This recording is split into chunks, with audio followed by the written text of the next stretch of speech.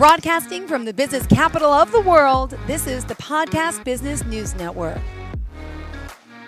Shurone Hills joining us here live today. We are back with our life coach, uh, coaching with Shurone from Mill Creek, Utah. Excited to have her back and to talk more about all the work she's doing and helping so many. So, first and foremost, how are you? How have you been? I'm doing great. Thanks. Great. Well, it's good We're to good. have you back. And tell us yeah, a little bit about, back. you know, who you are and what you do just to start for today. Okay, yeah. My name is Shurone Hills. Um, I am a life coach that help I help women who overdrink alcohol and who want to change that um, dynamic in their lives. And I came to this work. Uh, it's a pretty long story, but I'll give you a short version. Um, I found alcohol a little later in life in college and thought it was amazing from the very moment I found it. Uh, helped me be more social and uh, get out of my anxiety and my my social anxiety especially um, and so i fell in love with it and started drinking too much right away. And uh, eventually i knew that i had a problem but i didn't want to stop because it was still solving a lot of my anxiety my emotional issues basically. Um, so i found somebody that drank just as much as i did and uh, we fell in love and we built a life around alcohol. And um and after over a decade of drinking every day uh, that's how it progressed is into the morning and all day long. And uh, after after some years of that he got cirrhosis of the liver and um, he passed away about eight years ago mm. and so that really changed my life, obviously. Yeah. And the illusion that I could keep drinking the way I was was dashed. And I, I knew that I was on the same path and and would um, die too. So I I did a lot of work and a lot of research to figure this thing out. And and it's really near and dear to my heart for for those reasons. And I I just really am passionate about helping other women get out of this crazy dark cave that it can become. Well, thank you. Um, you know, you're always a pleasure to have here, and I appreciate you opening up and sharing all this with us. And how do we find you? Could you tell us the website? Yes. Come find me at www.coachingwithshurone.com. And my name is spelled S H U R O N E. Perfect. And that's, yeah. Well, what did you want to share for us today? I know we've talked a lot about, uh, you know, the work that you're doing, and for new time listeners today, I would love to dive into that, and of course, whatever else you you wanted to share for today's show. Yeah, sure.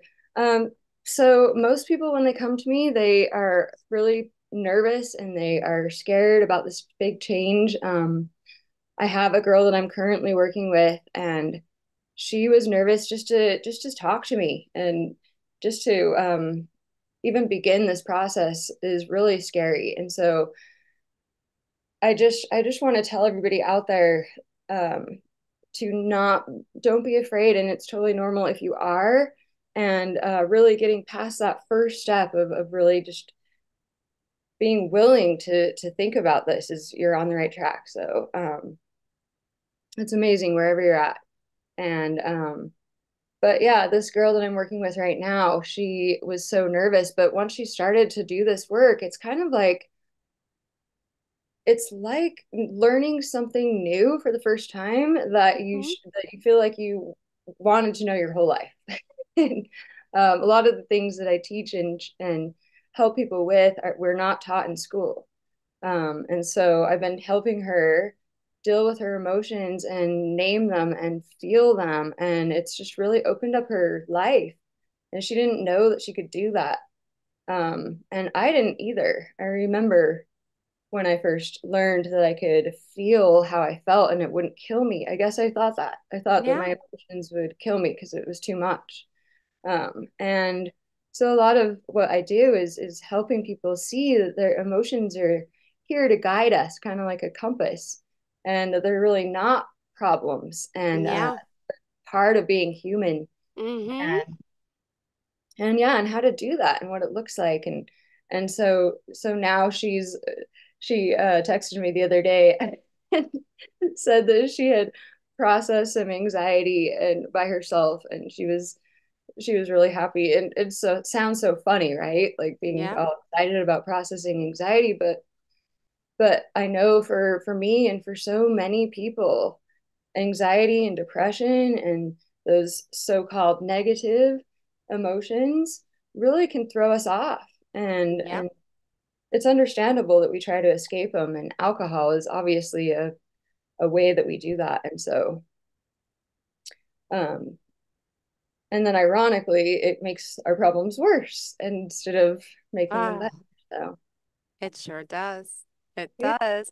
But I love this beautiful smile on your face. And I just can't even imagine a time in the world when you were so down and not smiling. And, and that's it's just good to see that and to know that people can change and you can go yes through a lot of trauma. And you've been through a lot of trauma, but you can recover, you can heal. I think it's a beautiful, beautiful outcome, obviously. And you're helping give, you know, so many more of the same outcome. mm-hmm yeah it's been really rewarding and uh given my life so much meaning especially after all the things that I went through um I did want to mention that we talked a little last week briefly about AA And uh, I have been involved in that community and I still am. And I think it's a great resource, especially for connecting to other people that are going through the same thing. Uh, but I just wanted to mention that my coaching does not involve 12 steps or anything Alcoholics Anonymous related. It is a separate thing. And uh, I think that we have learned in the past, you know, years so many things about our brains and the neuroscience, and all of it is so interesting um, that I think that is time to up level our version of recovery and the way that we're going about it. And so I'm excited to be at the forefront of that and doing this more thought work and um, this internal work on our own minds. Such a beautiful thing to do. Now, did you ever join Alcohol Anonymous? And it, what's the other one called that's for people with the the drug addictions? Um, yes, there's Narcotics Anonymous. Um, it, narcotics. Yep. yeah, yep.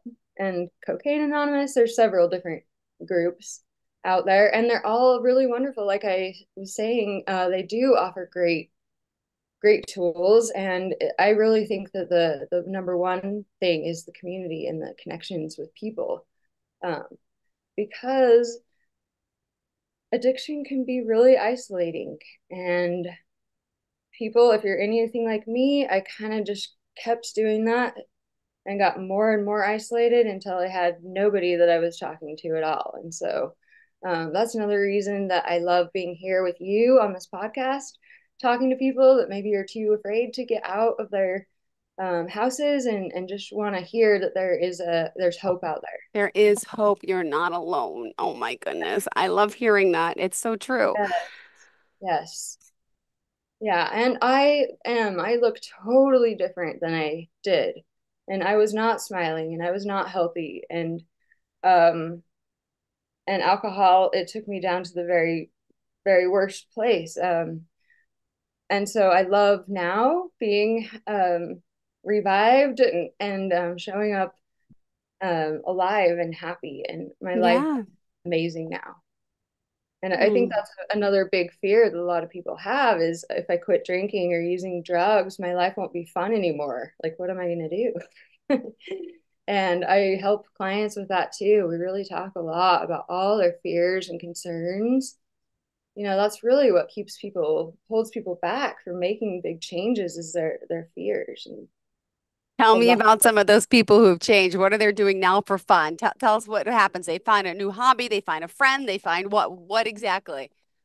Yeah, okay. So um so I actually ha- have a, a hiking group um that I created here in Utah, and it's a group of women. We go up hiking once a week, and that is has been a really major part of my life. I'm in Utah, so I'm next to mountains, and I get to go explore them all the time. Mm-hmm. Um, I just went last weekend and climbed a 12,000 foot uh, peak. It was great.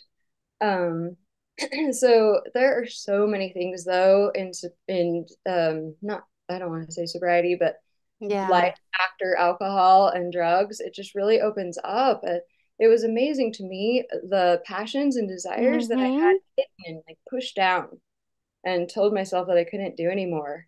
So, um, like a lot of art stuff, and I started writing again, writing poetry. Mm-hmm. So it's different for all of my clients. They have different interests, but they find them and they get them back. Um, I have one client that started flying again. Wow. Taking flying lessons, you mean, or? Oh, she was a pilot before, Oh, oh, wow. and she'd kind of just like put everything in her life Uh-huh. to the side, and the, and it's almost like when we get so addicted to things, we forget who we are. We forget that we that we have these um, desires and these loves and passions for other things, and you know, she had written it off and, and thought that like she could was too old, I think was one of her thoughts or something like that. So really we just questioned all of that and she um, is back up there now and um, I really like that example because she's uh, about like 10 years older than I am and she's um, more she's more adventurous. It's just great. Um, so yeah, I think that our relationships are another area that people really see a huge difference. Um, I have a couple clients that I'm thinking about right now that didn't think they would get their families back, and they now have their kids back in their lives, and that is a huge deal for for women. And um, seeing women reconnect with their children, I think, has been one of the the greatest things. But even just like relationships in general, you know, I think like for me, I I had kind of pushed my family away. And I think a lot of us do that when we're addicted to things and, and in that shame and guilt spiral. Um, and so I was able to repair those relationships and slowly my my parents and my siblings um, they trust me again. And it took some years, but and I helped my clients with that too, because sometimes it's difficult when things don't happen right away. You know, we live in a culture and a society that is is really addicted also to instant gratification. We want stuff now, right away. And um, so we we coach about the the things that happen around addiction like that too. Like waiting and, and having some patience for that trust to come back. Sometimes we have to do that. But knowing that it can and will. You know, I remember my my little brother, he's a doctor. Hopefully he won't mind me sharing this, but he uh he told my mom not to get her hopes up and that I probably wouldn't really quit because not very many people do. And statistically, he's right. You know, a lot of people do um, end up relapsing and going back. That's another thing I love about coaching and thought work is it really speaks to the root of the problem, which is our our thoughts and our thinking about it, about alcohol and um but yeah, it took my brother some years, and I'm glad he said that because it kept me. Um, I wanted to to prove myself too, I guess, and um, so yeah, it just takes what it takes, and I, I share that story with people, and then and then they can, you know, say, okay, like maybe it will take. I think it. I think I was. I had like six years free from alcohol before my little brother stopped worrying about it. Aw. and maybe he still does. I'm not sure, but he he doesn't. Um, I don't think he he believes like he did, um, for sure. So so yeah, it's it's um. I think that addiction is something that impacts all of us, whether Yeah, whether you're the addict or the the family members, the friends, the workers, it it it's so it's so vast and it trickles down to so many, you know, and it's uh it breaks my heart to see this happening to so many people. Look, I have a I'm going to tell you a story. Get I'll get your take on it since you have experience. Um, my kids are seven and nine, right? They're two little boys. I have older cousins and teenagers, and one of the teenagers started drinking because that's what they do at 16. Not say that's that's what they do, but that's when they start whatever. So my yeah, son, we had his seventh and ninth birthday party a few weeks ago. My son, who's nine, okay, nine, he grabbed a high noon, and one of the adults brought a high noon. I don't even know what that is, what type of alcohol's in this this thing, but he took it supposedly, and you know he did. He admitted it, and he went he went around the block with the neighbors with the little kids, and he took a few sips, and then he threw it out. And I obviously to find this out, I was oh my gosh. I'm like, how could you do that? He was with the older kids. The older kid said, we didn't want to tell you. I'm so sorry. I said, but you, you can't allow a kid to do that. And you guys were laughing, thinking it's cool. Well, we didn't drink anything. I said, but still. So now my son thinks it's like, okay. And I love that he told me the truth. Um, mm-hmm. But I'm just worried. And, and people are like, oh, it's not a big deal. I'm like, but no, but he thinks that's okay. Like he's nine. He shouldn't even be sipping it. I mean, you know, I did give him a, a sip of wine a year or so ago at the dinner table because I said people in other countries do this, try it. He hated it.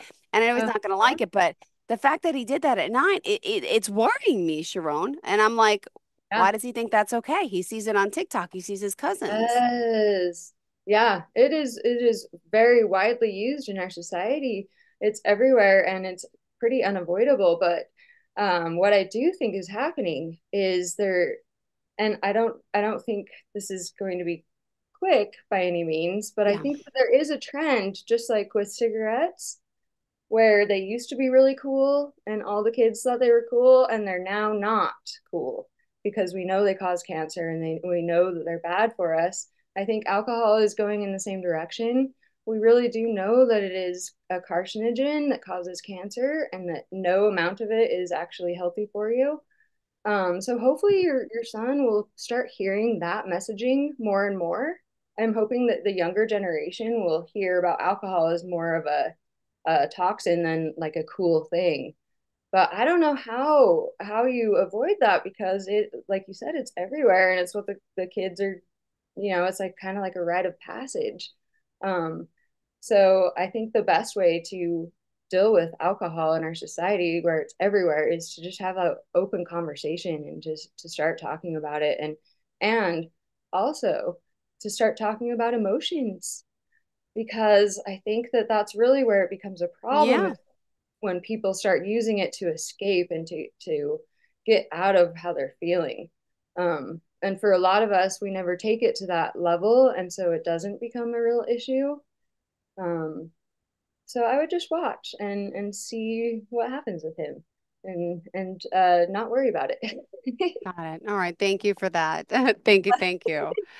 Um, let's see. We still have five minutes left. And what else do you think is important? Do you want to talk about your coaching process? Do you want to give us other examples of, you know, anything in particular that's going to help someone out there who, again, if you are just tuning in, let me remind you coachingwithshurone.com.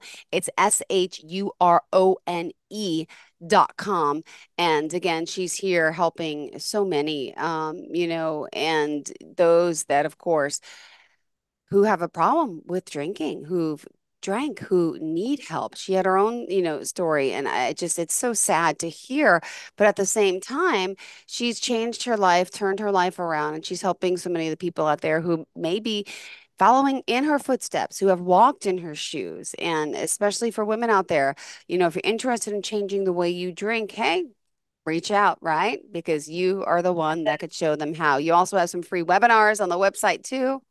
Yep, I'm doing one today at two oh. o'clock time. Yeah, so just in a few hours, if you want to go head to my website and sign up for that. Um, I, I, uh, let's see, what else can I share? Um, oh my goodness! All right, hold. Tell me, tell me what happens at this webinar. Tell, tell, give me some insight to what we can expect. Okay, so I just I'm going to talk about um, really the the core issues that we have with our drinking is our, our thoughts about alcohol and how to look at what our thoughts are currently and how mm-hmm. they might mm-hmm. be promoting the over drinking and uh, what to do about that because that really is the root of the the problem is what we're thinking about our drinking um, if you're thinking this is fun and it sounds like a good idea with friends yeah. you're probably not in that danger zone. But if you're thinking this mm-hmm. makes my mm-hmm. life better and I don't like the way I feel, so I'm going to drink to escape it, yeah. then that is where people find get into trouble. And if your if your thoughts are along those lines about alcohol, uh, come talk to me, please. I I love helping women to to change this dynamic with alcohol and to get out of the the dark cave. Um, and it is possible. Anybody can do it. If I can do it, anybody can do it. Um, and I, I know it's scary, and that's okay. And don't be scared. It's it's all right. Hmm. Oh, gosh. And for those out there that, you know, well, you know, you're in Utah. Do you do in person or is it all really Zoom at this point? It is. I do Zoom Zoom calls with people. Um, I have a, a few friends that I coach in person, but really it's just over Zoom. Okay. That way I can reach whoever wants to coach. I was going to say, do people, I feel it'd be, uh, it's a little more less invasive. I feel like less stress, less anxiety about having to go, go somewhere, see someone in person makes me a little nervous. Um, Yeah. you know, I feel like you, you're probably serving a lot more people this way. Yeah, hopefully. Hopefully so. You can be in the comfort of your own home and um, hop on and off. I'm also starting a podcast so that people can hear this information and not have to go anywhere and not even have to talk to me and just uh, get this great new information that's coming out about addiction that's just really exciting. Oh, I love it. Any advice to someone out there today that uh, may be listening and, you know, debating picking up that drink today? Yeah, you don't have to. You don't have to do it. And if you do, it doesn't matter either. You're you're still a, a wonderful human being. And. I think that we shame and guilt ourselves far too much about this issue. And um, it's totally understandable if you Yeah. have a, a addiction problem. It's completely normal in the society where we're surrounded by instant gratification. Yeah. Oh, well, thank you so much, Shurone. Remind us again how we can contact you, please. Thank you so Yes. much.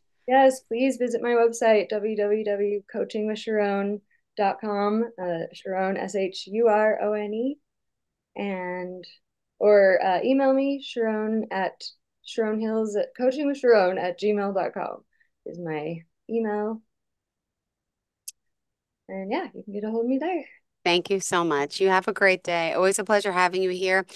Are you looking for even more of the podcasts and hosts that you love? The Podcast Business News Network is proud to announce that you now have even more ways to listen live. Check out the MyTuner Radio, online radio box, and Simple Radio apps on iOS and Android, or find us online. Search for Business News Network on mytuner-radio.com or search Podcast Business News Network on streema.com and onlineradiobox.com slash US. Take your podcast on the go and don't miss a minute of the action.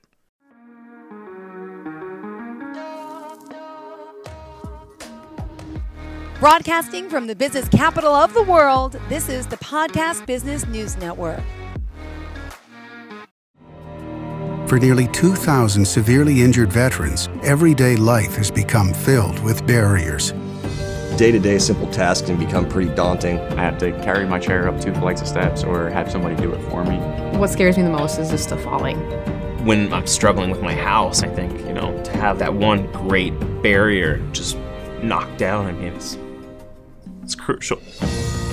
Home for Our Troops is a wonderful nonprofit that builds a mortgage free, fully adaptive, handicap accessible house. And there's no catch. It'll be our very first home that we've ever owned. This is a game changer. This is where your life begins again.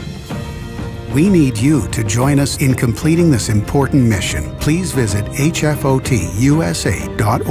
and help build homes and rebuild lives. Because of you, everything's going to be okay.